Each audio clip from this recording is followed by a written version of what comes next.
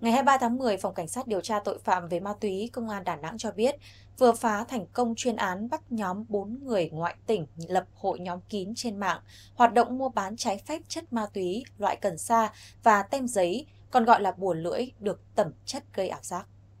Trong số 4 nghi phạm của chuyên án ma túy trên có hai người là sinh viên các trường đại học cao đẳng trên địa bàn Đà Nẵng. Qua công tác nắm tình hình, Phòng Cảnh sát Ma túy phát hiện một hội nhóm kín trên không gian mạng, nghi vấn hoạt động mua bán trái phép chất ma túy với số lượng lớn. Người cầm đầu đường dây là Phạm Tấn Tài, 24 tuổi, quê ở huyện Đại Lộc, tỉnh Quảng Nam, tạm trú quận Cẩm Lệ, Đà Nẵng. Tài lên mạng xã hội tạo lập một hội nhóm kín và còn tham gia vào các hội nhóm khác chuyên mua bán các loại cần sa. Nhận được ma túy, Tài sẽ tự mình đóng gói, đồng thời sử dụng tài khoản ngân hàng do người khác đứng tên để nhận tiền.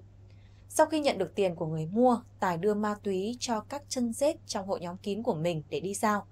Trong số những đối tượng thường xuyên giao ma túy cho Tài có Võ Thành Nghĩa, 19 tuổi, quê ở Con Tum, hiện là sinh viên một trường đại học ở Đà Nẵng. Để tạo vỏ bọc đi giao ma túy, Nghĩa lên mạng mua bộ đồ Grab để uh, ngụy trang.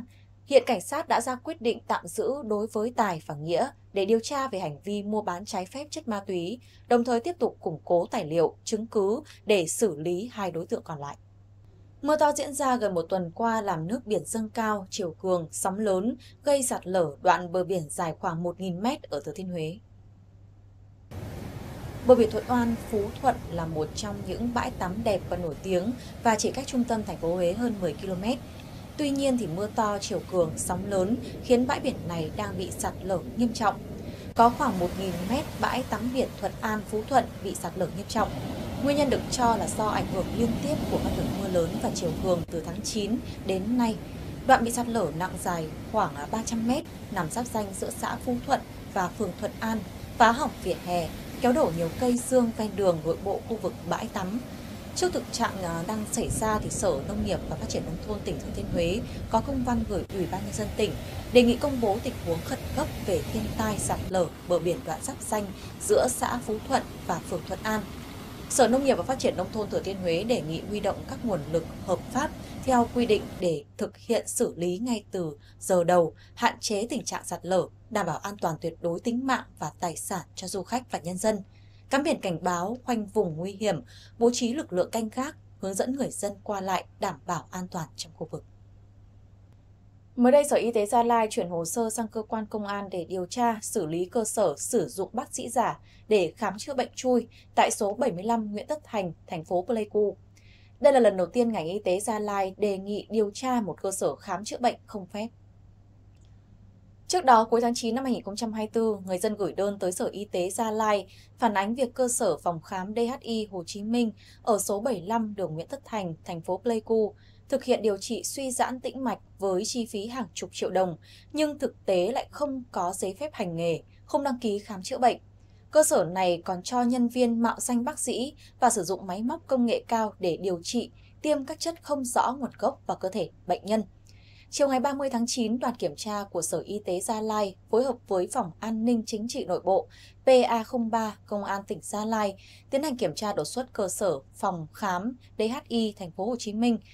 Tại thời điểm kiểm tra, một người tự xưng là bác sĩ Võ Minh Thanh đang khám bệnh cho khách hàng và tư vấn điều trị suy giãn tĩnh mạch, thực hiện các thủ thuật như là tiêm sơ và dùng laser sóng cao tần Tuy nhiên qua xác minh người này tên thật là Võ Minh Chiến, 28 tuổi, trú tại thôn Trí Công, xã Cơ An, huyện Đắc Pơ, tỉnh Gia Lai.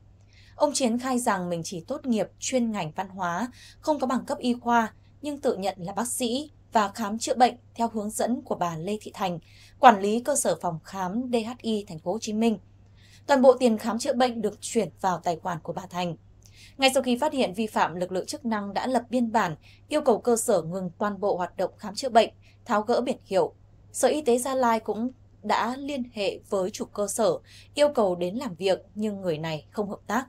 Sau đó, theo đề xuất của Sở Y tế Gia Lai tại báo cáo số 634, Ủy ban nhân dân tỉnh Gia Lai đã giao công an tỉnh chủ trì, chỉ đạo lực lượng chức năng tiến hành điều tra và xử lý các vi phạm tại cơ sở trên.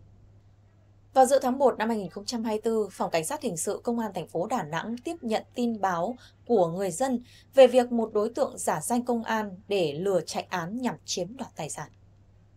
Sau thời gian thu thập chứng cứ, chiều 30 tháng 1, công an đã phát hiện Trần Kim Hùng, 41 tuổi, chủ xã Hải Hưng, huyện Hải Hậu, tỉnh Nam Định, đang nhận 20 triệu đồng từ người nhà của một bị can.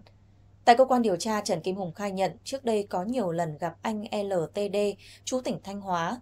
Hùng tự giới thiệu mình là Phó trưởng phòng thanh tra pháp luật thuộc văn phòng cơ quan cảnh sát điều tra Bộ Công an.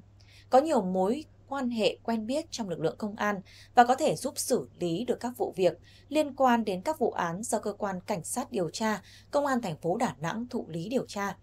Tin tưởng Hùng vào ngày 30 tháng 1, anh D đã vào Đà Nẵng để gặp Hùng và nhờ chạy án giúp người thân.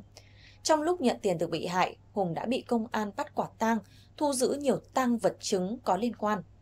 Với thủ đoạn tương tự, Hùng cũng thực hiện thành công hai vụ lừa đảo tại tỉnh Bình Phước và thành phố Hồ Chí Minh.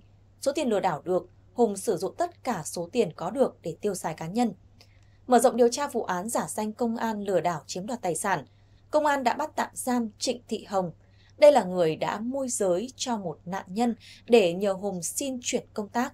Tuy nhiên khi nạn nhân chuyển tiền cho Hồng thì à, đối tượng lại chiếm đoạt và sử dụng vào mục đích cá nhân. Chiều 23 tháng 10, Bộ Chỉ huy Quân sự tỉnh Quảng Trị cho hay, lực lượng công binh thuộc đơn vị này vừa xử lý thành công quả bom sót lại sau chiến tranh ở khu vực suối Khe Say, thôn La Lay, xã An Cô, huyện Đắk Rông. Quả bom này được xác định là bom từ trường cực kỳ nguy hiểm, ký hiệu MK36 nặng 240 kg, bên trong chứa 80 kg thuốc nổ, dài 1,5 m, đường kính 0,27 m, bán kính sát thương là 1.500 m. Đây là vật liệu nổ sót lại từ chiến tranh. Quả bom không được phép di chuyển, phải hủy nổ tại chỗ.